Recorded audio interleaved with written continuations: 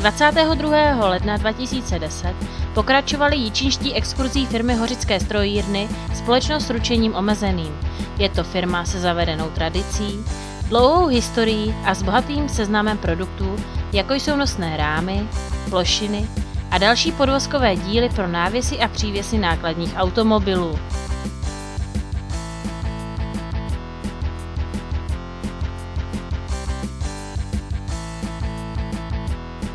Mezi jejich další produkty patří kovové součásti, jako různé držáky, kování, sloupky a rámy stěnové i stropní konstrukce skříní návěsů nákladních automobilů, výroba ocelových plášťů a příslušenství distribučních i trakčních transformátorů.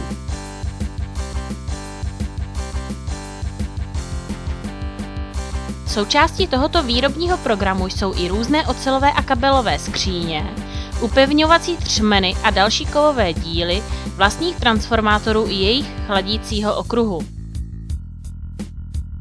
Výčet nemá konce a my poznáváme, že s těmito výrobky se setkáváme každý den ve skladech, v průjezdech ve svém okolí, na ulicích, v sadech, v lesích a tato i další zařízení bychom viděli dokonce i v Holandsku a Belgii. V jejich náplní práce je také zakázková zámečnická výroba podle individuálních požadavků zákazníka. Procházeli jsme výrobnou a vzhledem k rozměrům výrobků se nám zdal prostor na pracovníka ohromný, stejně jako množství různých výrobků. Podnik dýchá zájmem pracovníků svědomím, že krize, i když nezasáhla právě sem, nechává lidi na holičkách.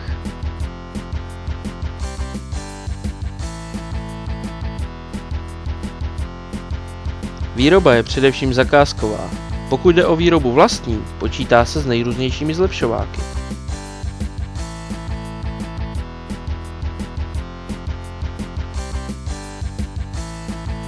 Zažili jsme opravdu nový pohled na výrobu a jedinečná atmosféra v hořických strojírnách nás v skutku zaujala.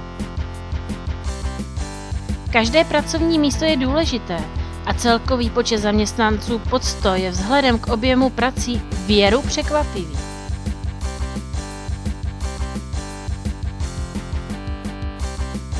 Záleží zde na každém jednotlivci, jejich kooperaci a samozřejmě i na chuti se vzdělávat.